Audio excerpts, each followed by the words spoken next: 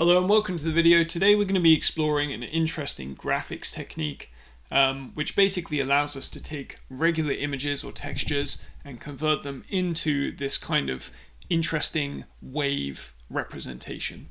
Now, this is something we're going to be doing like on a pixel pixel basis, kind of drawing pixels, but you can easily take this same technique and apply it to a shader in a in a sort of a graphics environment like if you're making games or if you're uh, building other kind of programmatic shader driven GPU stuff. So I think it's a really interesting uh, technique and um, it's actually going to take us into a lot of uh, really interesting mathematical concepts like how sine waves work and how we can do all kinds of like uh, numerical mapping in order to do signal processing essentially uh, that takes in the signals in the forms of pixels and output signals in the forms of waves. So it's really interesting. I hope you enjoy. Let's get started. Okay, so here we are in the browser, and what we actually have here on the left-hand side is our input image, our test image. This is just a Game Boy Color on a white background. It's kind of a good, in my opinion, a good kind of image to use this uh, as a test. It's got enough contrast. It's on a white background, which is kind of nice. It allows us to to kind of pop something out from from the from the background. And on the right we have a canvas, um, and this canvas doesn't have anything on it right now. It's just white, and we are going to somehow kind of take the information which is over there in the pixels of the left hand side and, and put them in this kind of decomposed waveform on the right hand side. Uh, okay, so that's the setup. Let me show you the code that I have to write this because I wrote a little bit of boilerplate code ahead of time just to kind of allow us to focus on the important stuff. Basically, this is the JavaScript file. Um, what we do is we grab the image, we wait for it to load, uh, then we actually extract the pixels from that image by creating a dummy canvas um, and drawing the image to the dummy canvas. So when I say a dummy canvas, I mean one that isn't drawn to the screen. It's just there as a kind of programmatic object for us to manipulate. Um, we uh, draw that image, then we can actually use one of the uh, canvas context uh, uh functions called get image data. We can use that to extract the pixel data. So this is basically the roundabout way of um, getting the pixel data from the image. And then that gives us this uh, array of pixels here. So what I'm going to do is I'm just going to log this um, pixels array out to the screen and we can take a look at its form. Uh, and just the rest of this is just kind of setting up the canvas. So it's just, you know, taking the width and the height that we got from that image, setting those as our kind of constants for the uh, for the window, uh, sorry, for the canvas, setting up the canvas, drawing a white background, and setting our stroke color to black. That's it. That's pretty much everything that we have. Then we have this empty draw function that's not doing anything.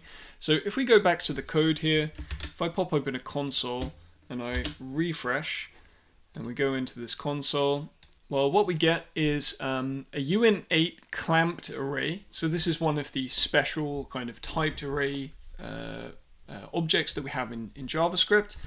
Um, is basically a a typed array for the uint8 type and if you try to write a uh, value which is higher than 255 or lower than 0 it will just get clamped at those extremes so that's kind of how that works um, it has 200 what is that 2,080,000 elements and if we kind of look at the size of this image so the Game Boy width is 800 times the Game Boy height uh, we get um, 520,000 pixels of this uh, of this thing. So this is it's quite a bit larger. And actually, if we if we take that whole thing, we multiply it by four, um, we'll see that we actually get the the same number. We get this two million eighty thousand, and that is because for every pixel in our pixels array, there is a red, green, blue, and alpha value. So there are basically four values per um, per pixel that we're going to deal with so that is uh, that's that's it. That's our kind of raw information. This is our signal in, right? This is what we're going to take and somehow process so that we get a um, a different effect on the output. All right. first things first. I think we need to take a little divergence. Uh, a divergence is basically the content of this this episode. We need to understand how waves work. This is um, going to be fundamental to this uh, to, to this whole thing. And as it turns out, waves are they're they're not that complex. That's kind of a math joke there for the math people. No, but um, waves are actually they're not made up of uh, huge numbers of components, right? There are really only three things we need to understand about a wave in order to really properly be able to apply it to something. So I've gra I've grabbed some drawing material here. This is uh, the mathiest slide that we'll look at, but you've probably seen this image before, right? If you studied high school trigonometry, you have probably seen this image or something like it before. Basically, this image tells us how the sine and the cosine function are related to the idea of a circle, right? And the reason that that's important is because when we talk about sine and cosine, the stuff that we're kind of plugging into those functions is actually an angle, right? That's that's what we're plugging in. We're plugging in an angle, um, and the angle is relative to this this circle, this like this plane that we're on, and kind of like this this sort of unit circle. So in this image, what we have is uh, an arbitrary line marking out a, a an angle, um, and this line is we it has the radius of the circle, right? And we just say that the radius is one, right? So it's something called a unit circle. So it's not hugely important for now, but just keep in mind the radius here is one. With those constraints, if we have this line going out with this angle, and we take the sine of this angle with a radius of 1, or the radius doesn't matter for the angle, what we actually get out, the value of sine, is the length of this line as it drops down to the vertical axis, uh, sorry, this horizontal line that goes through this horizontal axis. So that is what sine is. Sine is just the length of this side of the triangle that gets made up. That's it. That is that is what the sine function is. And the cosine function is uh, is basically uh, where where this horizontal line would meet that sine uh, that sine line. That's it. That's what those two functions are. that is what they measure. And as we as you know the the or may maybe not know the the value of the sine function it goes between minus one and one and the same as the cosine. And that is because that we have this um, these dividing lines. Kind of we set the middle of the circle at zero so over here since this is a radius one this would be one and over here this would be minus one right? And down here on the vertical axis this would be minus one and this would be one so you can see that as we kind of like measure the length of this line, we're kind of also signing it based on um, which you know which quadrant we end up in, or or rather which uh, like which half of of the the end we line up on, depending if we're sine or cosine. So that that I think is a really useful thing to keep in mind when you do this. Just imagine now, right, that we are sweeping this angle across the circle. So um, the length of this line, if we start here, right, if the line was, this line was going on the horizontal, and it wrapped around up to here, what we'd see is that sine line grow and grow and grow and grow, and then get smaller and smaller and smaller and smaller. And then grow and grow and grow and grow and grow again, but in the negative direction, and then get smaller and smaller and smaller towards zero in the uh, in the negative direction. So what would that look like if we traced it out? Well, it would look like a sine wave, right? That that is what we would see over time. So sine waves are actually just values over time. Like that like when we think about a wave, we think of it being a value over time, or at least a value over something. because uh, time is often represented by space in, in drawings and things. If you think about an oscilloscope, if you're measuring a signal or something like that, what you're actually seeing is you're seeing a value over time, but you see time represented as the horizontal space. So as time goes on, you're drawing a different point of the sine wave, like, and you're just evaluating where your angle is across that. okay, that is like, in essence, that's the sine wave. That's it. Um, so the first thing I want to do actually is I just want to draw a sine wave to our browser window. I just want to draw a sine wave that goes uh, from the middle up here, goes up to the top, then down to the bottom, and then meets back here over on this side. That's it, just a regular old sine wave, one cycle, and starts here, takes up the entire screen. So how can we do that? If we go back to the code here, um, what we're going to do basically is we are going to iterate. So for let x equal 0, uh, while x is less than the width of the screen, so we're going to go for every pixel of the screen, x plus plus. Then we are going to essentially figure out like what the angle is that we are, what we're measuring here. And now we need to we need to have a little think again. Because what we're actually talking about, right, is that we have kind of a, if you imagine this is our screen, don't worry about the Y divisions and things like that for now. This is our screen. What we're actually talking about doing here now is taking a sine wave where we kind of, we take the angles, we want to take every angle around the circle from here all the way back around. That's going to be one cycle, one time around the circle. Um, but we want to map that idea of being like this angle, this pixel over here being related to like this angle here, and then this angle here in the middle being related to this part of the screen in the middle, and then finally all the way back around the circle at this end of the screen. So we want to somehow like uh, map angles around the circle to distance along the screen. And how can we do that? Like what is what is the relationship there? Well, that is where we can get into something called linear mapping, linear interpolation. Linear interpolation is one of the most interesting and useful things you can learn about if you're going to do any kind of graphics or any kind of like programmatic anything that you want to do with numbers like linear interpolation is one of the most useful tools you can learn about um, it's it's so powerful it's ridiculous um, all right so the basics are incredibly simple like if you get the idea of it uh, it's it's incredibly simple. So basically, imagine this, right? You've got this function lerp, linear interpolate. You get a time, and that's kind of like we often call it time, right? But it's just, you can think of it also as a percentage, right? Like how far from beginning to end am I through this arbitrary thing, like from zero to one hundred percent, and then you get like a place that you're trying to map to. So you can imagine in our case, this goes from zero up to 2 pi, right? Because we're talking about going from zero uh, around to 2 pi of the of the circle.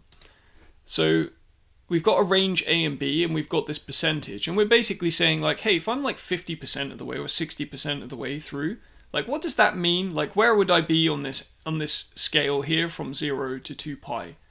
It's as simple as that. That is like what it is. It's basically saying like imagine I've got a range of numbers. What is 50% through that range of numbers? What is 30% through that range of numbers? That's what linear interpolate does. And this is the formula. So you take A, you always have A because you that's your minimum value. then your maximum value, you add your maximum value. So that's B minus A because you've already you've already gone along A steps. So like the distance from here to here is actually B minus A, of course. So A plus B minus A, that gets you this full distance. And then multiply that by either like anywhere between 0 and 1. And obviously, if it's if you multiply this uh, expression by you'll just get a, right? a plus this thing is going to be just a. And if it's 1, well, now b minus a plus a times 1, that gets you all the way to b. So that's how this works. Like, there, there's no special... Like, you, you can play around with this formula if you want to try and get an intuitive understanding of it, but that is linear interpolation in a nutshell. Now, the more generalized and kind of, but arguably more useful version of linear interpolation, which is just linear interpolation as well, like that's what I want to get across here, is um, a function that I call map range. And the idea of map range is instead of just saying, um, hey, I've, I've got some value between 0 and 1, and I want to map that to some arbitrary range like 0 to 2 pi. Well, now instead, what we've got is a number that goes between some other range, like maybe 0 to the width of my screen. And I've got another range that I'm trying to target, like 0 to 2 pi, and I've got some value which is in the middle of my screen range. And what I want to say is, like, how can I interpolate a number in the, the range of my screen to a number in the range of something else that I'm choosing? So basically, you don't quite have your number in the right format. You don't have something in this 0 to 1. Instead, you've got it in some other arbitrary range. So that's what map range is taking care of, right? And you can see that this side, or if you squint it, this side of the equation over here is actually just exactly this part, right? So it's it's this uh, part of linear interpolate. so basically, what what we're doing here is we've got some range a to b, right? Which may or may, like the idea here is that a has some potentially arbitrary offset from zero in either the positive or the negative direction, right? That's I've drawn it positive here, but it is actually arbitrary.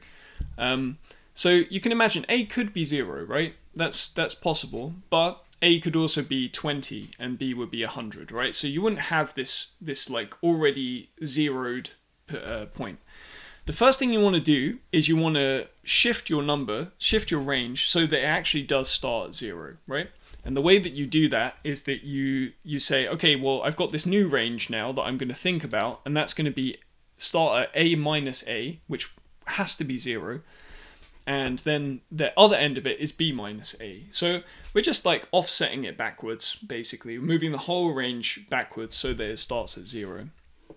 And then the nice thing about that is that if you had this value, which we'll call v, uh, this value v, well, in order to kind of figure out where that falls on this new range, you just need to take v minus a, right? Because you're you're moving everything back by a. So, you know, you move a back by a, you move v back by a, and you move b back by a. You just shift everything backwards.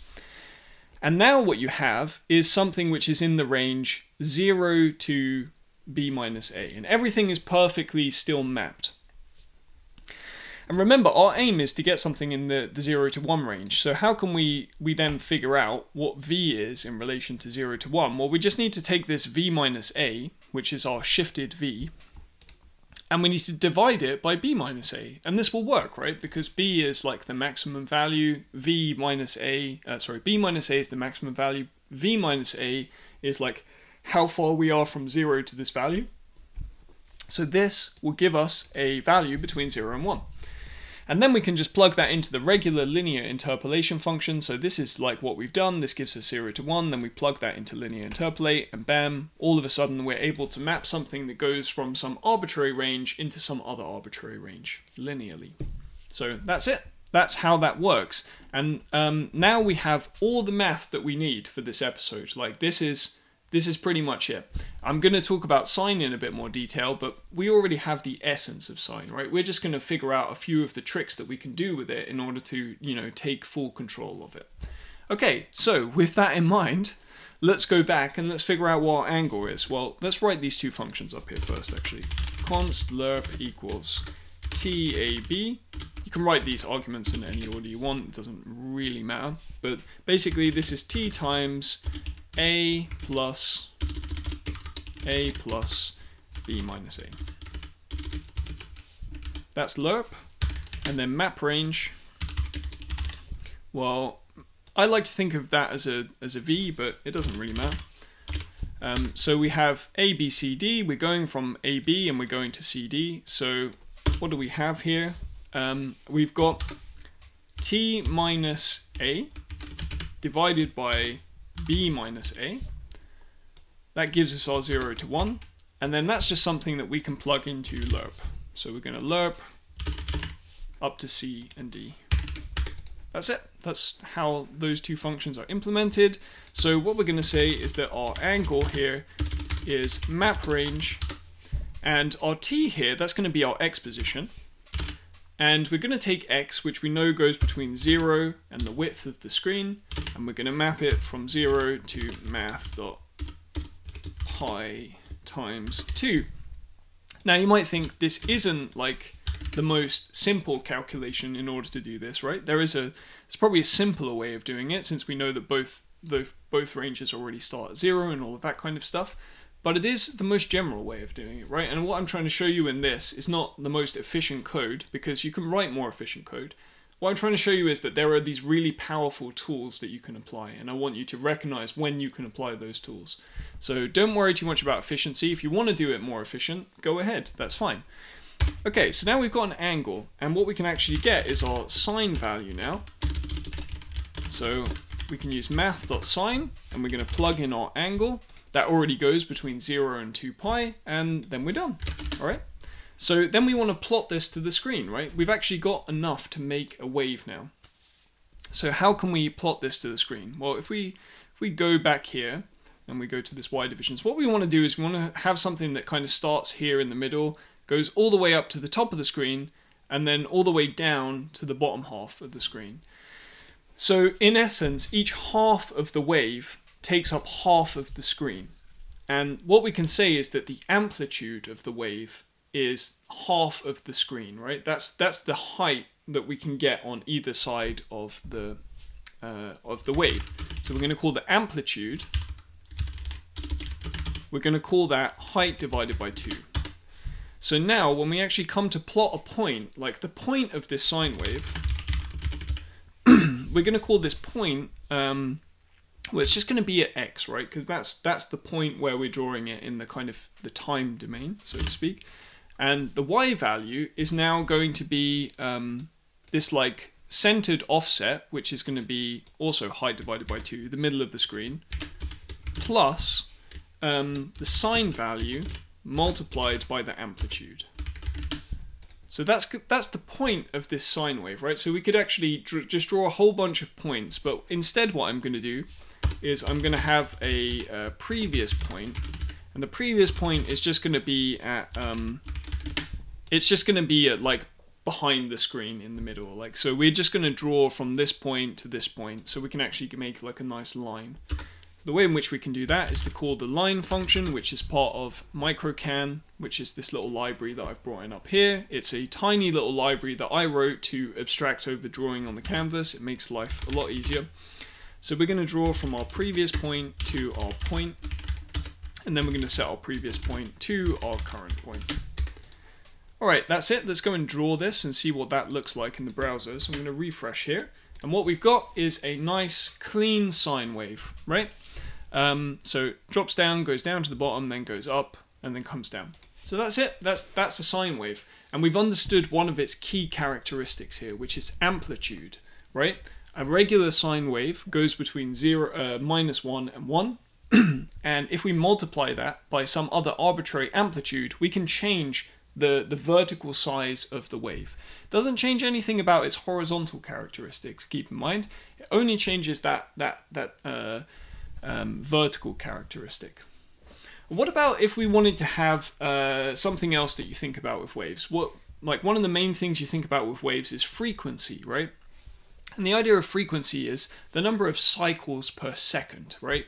So hertz, like how many hertz is this wave? Well, in our case, this would be a one hertz wave, right? Because it's like one cycle across time. And remember, we're treating our horizontal uh, you know, canvas as time. So in this case, we go from zero time to one unit of time, like one second, let's call it. We have one cycle over that. So one cycle, one hertz. What about if we wanted a different frequency? What about if we wanted a 10 hertz wave, so 10 cycles per second? Well, let's see if we can figure that one out.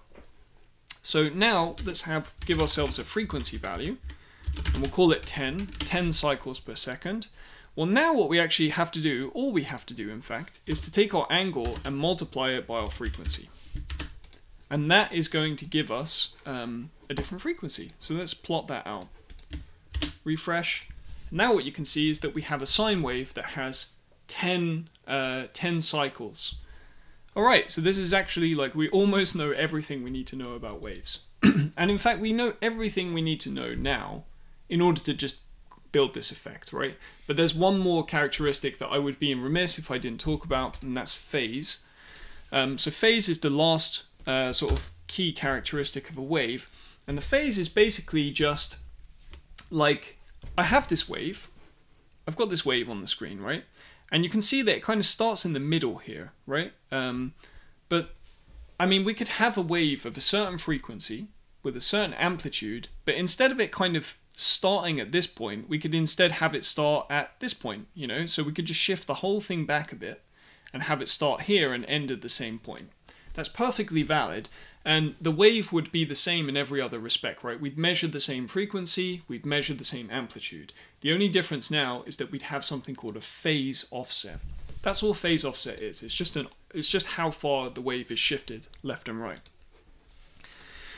So phase is also measured in angles, right? It's because if you think about what a phase is in terms of like this thing. It's basically like some, like you're just pushing a little bit of an offset of the angle into your uh, into your sine calculation, right? That's that's it. So we also measure a phase in uh, in in degrees or in radians rather.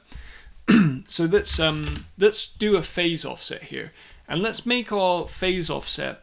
Um, let's animate it. Maybe that will be something that makes it kind of easy for us to to to look at. So I'm gonna set my drawing function up so that we clear the screen every time we call it. So that's what that background is to do. And then what I'm going to do down here is called request animation frame. And we're going to pass in the draw function. So we're going to recursively call draw using this window uh, animation API. And that is going to allow us to kind of track this animation over time. So let's give us our, ourselves a variable called time, t, and that t is going to measure an angle over time, right? Which is going to keep wrapping wrapping around uh, angles. And so um, I'm just going to create a thing called phase. So this will measure, I guess this will measure frames, and our phase is going to measure like, uh, I don't know, we can just take some arbitrary divisor of that frame in order to get an angle. So let's take our time and divide it by, um, I don't know, 30 frames. So like it's it's giving us this smaller unit. So what we do for a phase is we just add it to this angle times frequency, right? It's just some arbitrary offset point. So that's what we're going to do. And then at the end here, before we um, request animation frame, we'll just uh, increment t. So let's go and take a look at this. Let's see how that looks. If I refresh now, what you can see is that we're actually drawing this wave over time now, right? It looks like we're seeing this wave continuously. And all we're doing, of course, is we're adding a phase offset, so we're shifting the wave as time goes on. And of course, angles, they're, they're measured in radians, and although this thing keeps going up and down, um, like, uh, sorry, although this angle is growing over time, it still just kind of wraps around on pi times 2. So we're just wrapping around the circle again and again in terms of the angle that we're measuring. Um, that's not always true. Like uh, there are there are some complexities there, literally complexities that go into how waves are represented, and and the wrapping around. You can also think of it being kind of helix, like a spiral. That uh, so there are, there are things to consider there, but we're not going to go into any of that stuff today. Right, so this is it. We've learned everything we need to know about waves to, to perform this effect, and we know everything we need to know about linear interpolation in order to be able to kind of take full advantage of it. Alright, so what I'm going to do for now is I'm just going to um, I'm just going to comment out the animation stuff because we don't need to do any animating for now. And let's just uh, go back to this screen and talk about how this effect is going to work. Like, what is the essence of this effect, actually? So, what we're going to do is we're going to take all the pixels of this image and before we do anything, we're just going to work with just the brightness value of the pixel, right? Just like a grayscale value. Um, we're not thinking about colors like RGB. Instead, we're going to think about like how arbitrarily bright is this pixel. Um, so you can think about that as grayscale, right? It, it's in grayscale, you don't have colors, you just have a value that's either, you know, white or black, and you're somewhere along the, the range of those, those colors, right? And the reason that we do this is just because it gives us a really th easy thing to map, right? A really easy thing to interpolate. Because now we've got something that has an arbitrary brightness from black to white. We can map that into some other arbitrary mathematical thing, right? That we can use to represent. So um, that's what we're going to do. We're going to break these pixels down into grayscale values. And then what we're going to do is we're going to kind of scan through. We're going to divide the screen up into a bunch of horizontal divisions, right? So this is why I've drawn, drawn this one. This is basically kind of what we're going to do. So we're going to give ourselves a bunch of these lines on the screen, like this. And what we're going to do is we're going to draw waves on all of these lines. So we're going to have a wave that goes up and down on this line. We're going to have a wave that goes up and down on this line. We're going to have a wave that goes up and down, so on. And the way that we're going to be able to sort of like take the image is we're going to modulate that wave based on the grayscale value that we measure on the pixel. And when I say modulate the wave, um, there's actually a bunch of different ways to do this. This is where we start getting into the idea of this being kind of basically signal processing, um, because we're taking um, we're taking the signal in and we have some other signal and we're going to modify our signal based on some other signal. So this is called modulation. We're going to do something called amplitude modulation. So amplitude modulation is the idea that you vary the amplitude of your fixed frequency wave um, by some by some arbitrary amount, and you actually encode information by changing the amplitude over time. Let me give you an example of how this looks. So let's go back to the code for a second and let's take our wave and let's try to modulate it. Let's try to um, change how this looks a little bit. So what I'm going to do is instead of um, making our amplitude fixed, instead we're going to have a, an amplitude which changes over time. Like we're going to modulate that amplitude. And how are we going to modulate that? We're going to use map range and we're going to take in our um, x position. So we're also going to modulate based on the x position. Um, and based on where we are in that wave from zero to uh, to the width of the screen, we're going to either have um, uh, the zero uh, amplitude or we're going to have the maximum amplitude. And this is the maximum amplitude. So let's do that. If we now plot this uh, on our thing, what we have is a wave that starts out very, you know, with zero, kind of zero power and gets kind of louder and louder, as so to speak. If you were to play this through a speaker, like it would be a thing that it starts quiet and gets louder and louder. So we've haven't changed anything about the phase. We haven't changed anything about the frequency. All we've changed is the amplitude. We've modulated the amplitude. Okay, so we can do this um, arbitrarily. So this is just like some linear thing that we've done. What about if instead of just taking the point on the, sorry, the amplitude point of x, what about if we we took x to be a um, uh, to be uh, like uh, something that we could plug into the sine function, for example. So math.sine, and instead we we uh, we modulate this value. So x is actually still a pixel. We basically need x to be um, to be uh, to be an angle um, so where we are on x. So what we actually want to do is we want to modulate the angle, um, but we want to have a different frequency. So we're like, because if we modulate on the same frequency, it's, it's we're not going to see anything interesting. So let's modulate uh, based on like um, the frequency divided by 7, right? That's going to give us a different frequency of this wave. This now goes between minus 1 and 1. And let's have a look at what that does to the amplitude. So let's go back here, refresh. All right, so what we can see is that um, you know the mod uh, the the the maximum amplitude of the wave is kind of is kind of changing quite a bit here. And what I'm going to do is I'm just going to I'm going to make the frequency a little bit higher, and we'll go back and we'll see how this plays out on a larger scale. Maybe let's also bring the maximum amplitude down a little bit. Let's make that height over 8.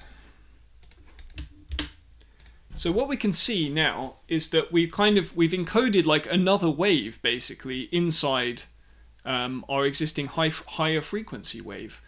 Um, now this is where the magic comes in, right? What I want what I want you to imagine is that we have a bunch of these these waves, right, going across. They're all at a fixed frequency. But as we go along and we scan the pixels, we map the the grayscale value of a pixel, which goes between, say, 0 and 255, we map that to an amplitude value that goes between zero amplitude and whatever the maximum amplitude is. And we may want to invert that because zero here means it would be the darkest color and um, 255 would be the lightest color, it would be white. And maybe if we have white white background, we want there to be zero amplitude. Um, and if we have black like this, we want there to be a much higher amplitude because that's where, where, where there is pixel, where like there is a pixel contrast, right? Uh, that's where there we can think of there being as like something bright, uh, well not bright, the opposite of bright, dark. Um, so we want to bring that out by actually sort of exposing a high, like taking up more pixel space basically, with a uh, higher frequency wave. So this is how this is going to work. And, and what we're going to do is we're going to break down the screen into some fixed number of uh, lines, and this is going to this is basically a kind of you know um, downscaling of the image you can think of, and we're going to do this for every line, and we're going to basically figure out where we are in the image, go and look at the image, figure out its grayscale, val grayscale value, and kind of draw a wave based on that. So enough discussing it, let's basically get to the, the good stuff. So first of all, we need to iterate through our pixels, which we now have red, green, blue alpha values for, and just get a single value, right? Just a single uh, grayscale value. So I'm going to create a, um, uh, a variable here. I'm just going to call it capital G. And we're going to basically create an array which whose length is width times height. And I realize if I want to do this, I need to do it uh, below where I've defined width and height, which makes sense. And for each, uh, each of the values inside this, we're going to take its index and we're going to figure out like uh, where the interesting information is in the pixels and compress it down. So you can see that what we're making here is an array which is four times smaller, right? Because we know that this one is width times height times four. This is just width times height.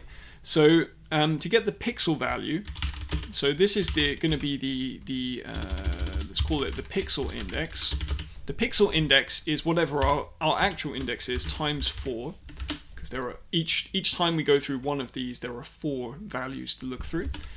And then we can get the red pixel value which is just in pixels uh, pixel index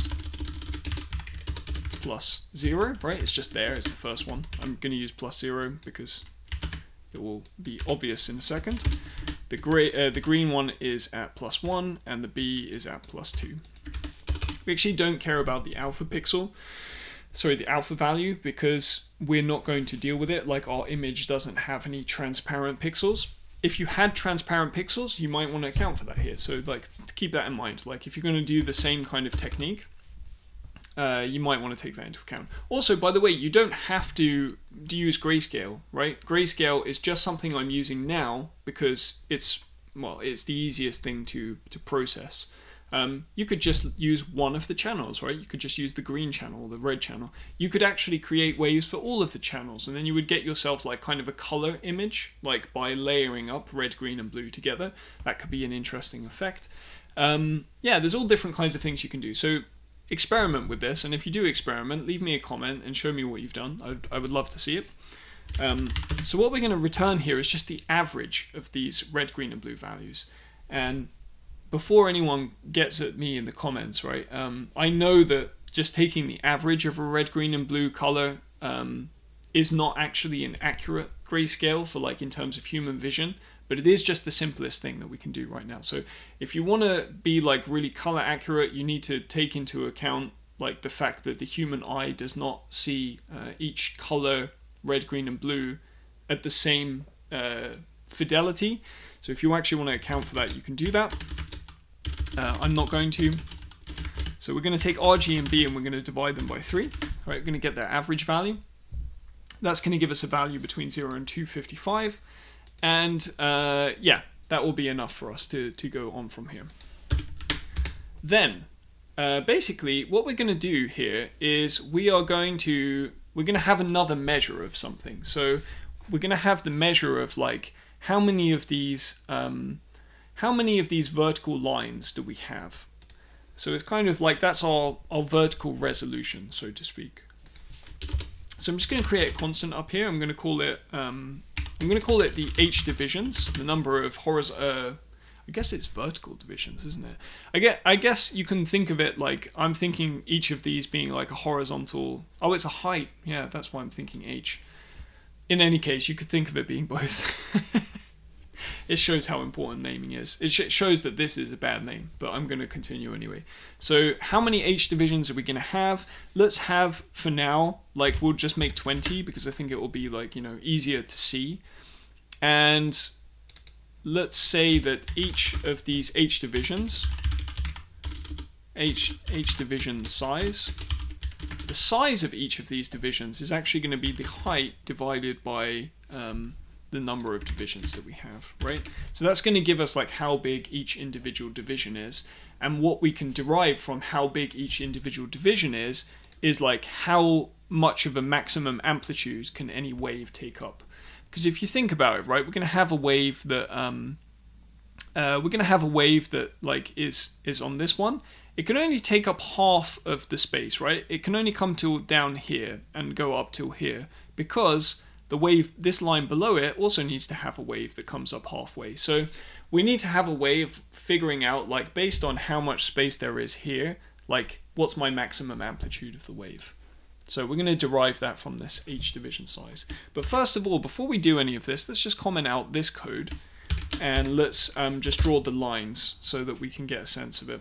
So for let y equals 0, uh, you know what? I'm not going to do this in terms of why. I'm going to do this in terms of um, the division that we're on, the h division. So while that's less than the number of h divisions that we have, uh, h div is less than h divisions, h div plus plus. So now we're iterating through the number of uh, lines that we have and we're going to derive kind of a base y position from that. So like where where are we drawing? Like is it uh, you know where like how do we map the number like zero here to this this value? So the y position is going to be uh, what what we could say is it's just h div times by the h division size, right? So like which one are we on and like how far along it are we? But I'm also going to add in half of the H division size. Right? And the reason that we do this is because like we don't want the first line to be up here at zero. We want the first line to be like, you know, some some level down from that. We don't want it to be all the way uh, at zero. So that's why we're going to add an offset. Okay, so now what we can do is we can draw just some lines from one side to the other for each of these. So let's draw a line that goes from uh, x position 0 at this y coordinate to uh, x position the width of the screen to this y position. Let's draw that. And we'll go in here, we'll refresh, and now we've got a bunch of horizontal lines, and if we counted them out, we should have the right amount. And so we're going to draw a wave that goes along this line, a wave that goes along this line, etc. So let's do that now. Let's draw a bunch of waves. Um, what I'm going to do is I'm going to break out up here um, the frequency because actually each of these waves they're going to have a fixed frequency. And the reason that we're going to do that is because we're modulating the amplitude. You can also modulate frequency and yeah? that's something you can do. Um, but we're going to modulate the amplitude because I think it will probably work better for this effect. Although if you do end up making the same effect but you use frequency modulation instead of amplitude modulation let me know in the comments. I'd love to see it all right, so the frequency that we're going to use here, let's just arbitrarily choose 50. I, I don't know if that's good or bad for now. I'm just going to choose it, and we'll, we'll see how it is and tweak these parameters a bit later. All right, so to draw a wave, well, we know how to draw a wave. We're going to basically do this stuff.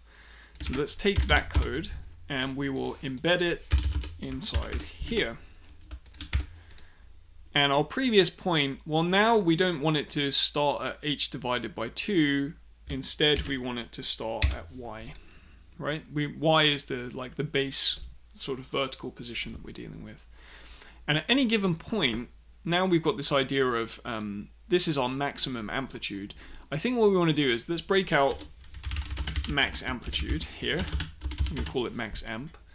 Max amplitude is actually the h division size divided by 2, right? And that should be, I think it should make sense why we do that, right? Because if you look up here, like this is now half a division and we want to draw up to that with a wave up to the top and then back down to halfway down so that this wave that goes here can come up halfway and go down and none of these waves will overlap each other. Overlapping the waves is also an interesting effect, you can also do that. We're not going to do that for now. Um, so that's going to be our maximum amplitude. So let's come in here and, and replace this with max amp. And I guess we don't, for now, we don't want to do any frequency modulation. I guess we could. There's no reason we couldn't. I think this should already work. Let's get rid of frequency there because we already have it. Phase, it doesn't matter. We can use phase here, but uh, we're not interested in it, in fact. Um, all right, let's see how that looks. Let's see if we've made any mistakes. So I'm going to refresh. All right, that's it. Now we've got a whole bunch of uh, frequency modulated waves. Uh, sorry, amplitude modulated waves. Um, yeah, that looks pretty good. So you can see now this is going to basically, and I'm going to take away the modulation just for a second so that we can see. Um, because what I want you to see is like what our base kind of like, what our base canvas is, so to speak. We're going to get rid of these lines underneath. They're just to show where the, the H divisions are. Basically, you can imagine that if we had a fully black image, um, let me just get rid of those lines so that we can see it really nice and clear. If we had a fully black image, like this is kind of what we would see. If every pixel was black, this is the idea. This is how it would look in our in our representation. But now what we want to do is, as there are like white pixels, we want to make that amplitude smaller on each of these possible waves. Like as we like, basically we're going to scan across like these parts of the image figure out like what the value is at those parts and modulate that amplitude based on that. So um, this would be a fully dark image. If we made all the amplitude zero, so now I just make this zero, well, what that's going to look like basically is a whole bunch of lines. So that would be a zero amplitude. Um, and somewhere in the middle would be if we had a, you know, a medium, medium dark image. And you can see that basically by doing this, uh, we can we can change like uh, yeah we can change like the brightness at any given point. And of course as we increase the frequency so let's do that. Let's increase the frequency a bit. Let's make it 100 rather than 50 as we increase the frequency, we're going to basically get more like kind of fidelity. We're going to be kind of zooming closer and closer and in on the idea of just like drawing pixels. Um, so, you know, to balance the effect, we don't want to go too far in one direction. We don't want to have too high a frequency because that will you won't see the wave actually at some point and then it will basically be just like drawing a crappier version of the image um, which I guess this is in a way um, Likewise, we also don't want to have too many vertical divisions because um, the closer and closer you get to having like just the number of pixels that you have, like the number of vertical pixels, like at that point you also don't really have a wave anymore. You've just you're just drawing in pixels there. So at some point the whole thing will collapse into just drawing the image again. We don't want to do that. We want to have some some middle ground, which is nice. All right, that's it. Let's actually get to this. Let's let's do this. So now what we're going to do is we are going to, um, uh, what we're going to do at this point is here, before we start like, um, like the angle is going to remain the same, the phase is going to remain the same. Uh, in fact, I'm, I'm just going to bring phase out, put it up here, and set it to zero for now. We can modify it later maybe, but for now we'll, we'll break it out. The angle is going to be the same. The sine value is going to be the same. We're just going to be figuring out what amplitude to, to go here. So let's actually figure out, first of all, um, like what grayscale, what grayscale value uh, in this array does like this point that we're dealing with here with y and x, like what does that correspond to? So the way in which you can take, because uh, remember this is a, a one-dimensional array like so like all the pixels are just like crammed into a single one-dimensional array. We don't look in by x and y. In order to get to a single one-dimensional index uh, so this is going to be the gray index. In order to get to that index we we need to take the the y position. And uh, y at the moment because we're just like arbitrarily um, like dividing and multiplying is not going to be like a nice round number all the time. So let's do math.floor to make sure that it is a valid integer. We're going to take that, we're going to multiply it by the width, and then we're going to add our x coordinate. And if we do this, this is going to give us the index, the pixel index, into this grayscale grayscale value. And you may already be noticing at home that like a lot of the grayscale pixels here are just going to be completely ignored, right? Because like we're only dealing with things along this line. We're not dealing with like all the many pixels in between these lines. That's very true. We could only compute those and, and leave it out. I'm just going to compute all the pixels and ignore most of them. Alright, so now we've got an index.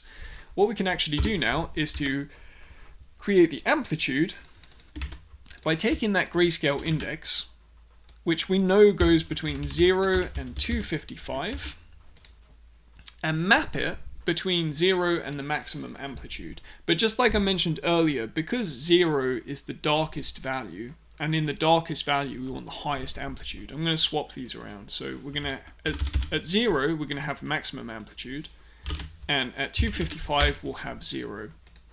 Now, depending on how this goes, we, we may basically be done at this point. So let's go back. Let's refresh the screen. That did not work. that didn't work at all. Um, why did that not work?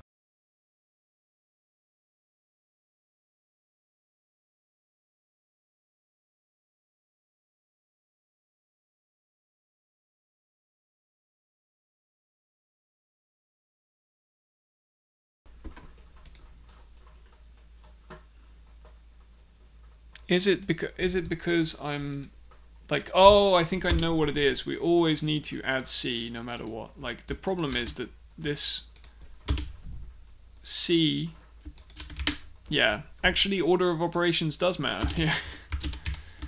because like this is what we're multiplying by and then we're always adding this offset of C. Okay, that's stupid.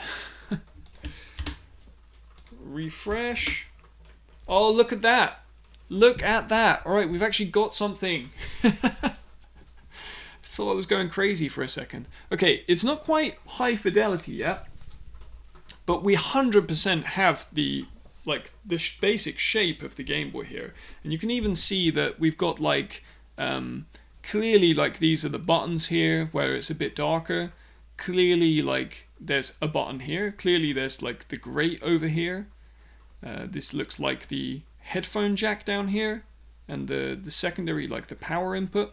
So like we got something, you can even kind of see the screen and if especially if you squint, you can actually see like most of the most of the image in there. We can actually make this a lot clearer by playing with uh, some of these parameters like the division size and the frequency. So let's just add in more divisions. Let's go up to 60 divisions. I don't know. So we triple the number of divisions that we have. And that's looking good. I mean, it's difficult to see probably, and I hope YouTube is doing doing us the right, you know, the right service here. But it's definitely in there. I think if we if we invert the colors here, this will probably make a bit of difference. So instead of going um, white on black, uh, black on white, let's go um, the other way around. So let's go black and draw white.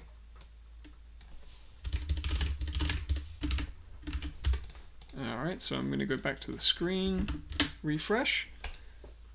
I think that's looking better, but it's kind of hard, still hard to tell. If we increase the frequency, we'll also, uh, we'll basically increase the density of pixels that we have, so we'll be able to um, see that a bit. So let's take off frequency and let's go for 150 instead of 100.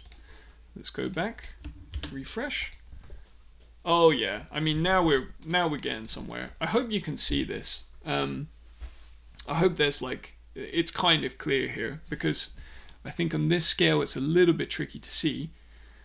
But yeah, I mean if I look at this and YouTube's compression is not completely washing this out, I'm going to zoom in real far. Um, yeah, you should be able to should be able to see the image of a Game Boy there. So that's it. We've actually used a signal processing technique called amplitude modulation in order to bring about um, the pixels of this image into uh, into this wave form. I think this is a really cool effect. Um, and we can just go one step further, just quickly, why not? We can go one step further and we can actually animate this. Um, so let's bring in our request animation frame again. Um, and now we're going to compute, we are going to compute phase. So uh, the phase, let's um, let's have the phase be per frame. So phase is just going to equal t divided by 30 or some other some other uh, value, but that's fine for now. Uh, let's go back. And what this is actually going to do is it's going to have those, wav uh, those waves basically moving as we're going along. And I have the feeling that maybe maybe something went wrong or maybe it's just really um, really slow. Could that be it? It is it is moving but it's moving really slowly. So let's amplify that effect a bit. Um, instead of going t minus divided by 30 let's just do t divided by 2 that's gonna make quite a lot faster. I'm gonna refresh and there we go. You can see that now the waves are actually traveling, especially like in this region, you can see that, you know, the waves are going up and down. And if I zoom out so that we can see the whole image, yeah, that looks kind of cool, I think. So that that gives us some some animation there. And why don't we also animate frequency while we're here as well? So um, we can we can sort of arbitrarily map the frequency to to another sine wave, and the sine wave will take in our time, and I guess we need to divide time down, so maybe we want to divide time down by like 30. And we know that goes between minus 1 and 1, and we want the frequency to go, I don't know, between something like 20 and 200, let's say. So now we're actually modulating frequency as well as amplitude. So let's refresh that. And what we can see is that it gets like kind of like more dense and then slowly like slowly washes out so you almost can't see the image anymore. I bet YouTube's compression is is doing terribly with this. And probably you can even see some like interesting like moire artifacts that happen as you go through this. Like it's pretty interesting. Like as like as you get waves and you draw like lines on top of each other, uh, close together, you start to get these other artifacts coming on top of them. It's got sort of aliasing effects. Um, yeah, I think this looks pretty cool. It gets to the point, I think, where the frequency is higher than the pixel density, and therefore we start kind of almost drawing things on top of each other. Uh, which actually has a nice effect of like increasing the density and making the image clearer. I guess the one last thing I want to show you that you could do is that you could actually allow your maximum amplitude to go higher than like just like the width of the screen. So if we allow the maximum amplitude to be twice as high, we can actually um, then refresh and you can see that now the waves actually overlap each other a bit. But because of that overlapping effect, we actually get uh, a higher contrast. And so, um, yeah, it actually increases like kind of the, the clarity of the image. Right, this is it. I think we've gone far enough. You can see uh, like what we've done. Uh, I think it's a really cool effect. You can take this effect that we've done in effectively in a, in a raster environment and you can take this and apply it in a shader. There's nothing that stops you from doing this like exact effect in a shader, um, which means that, well, I mean, I could imagine that there could be some really cool games that would use this visual style or at least make some use of that. Maybe some already exist. Um, we might explore how you would port something like this to a shader in the future. I think that could be an interesting video. Uh, I hope you've enjoyed this. Let me know in the comments what you thought or if you've made any modifications. I really genuinely enjoy seeing what people do with these. So like if you make something, please let me know. Um, if you don't enjoy these, you can also let me know. I might not respond to it. but it's good to know the feedback in any case. All right, thanks for watching.